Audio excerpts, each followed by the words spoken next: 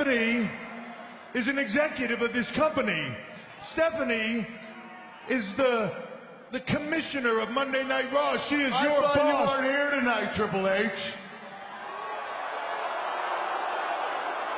He's not listening to you, what you're saying.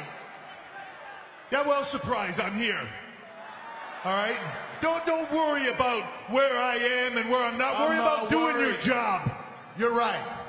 Stephanie is a WWE executive, and she has a contract that states that. Thank you.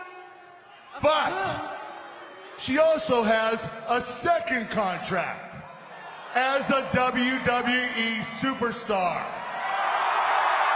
I make the matches.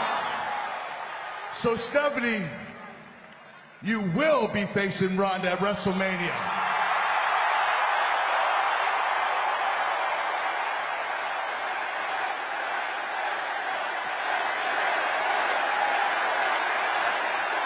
It's not, that's not it. I know someone else with a second contract, and that's you, Triple H. And I told you after Survivor Series, if you ever attack me again, I'm coming for you.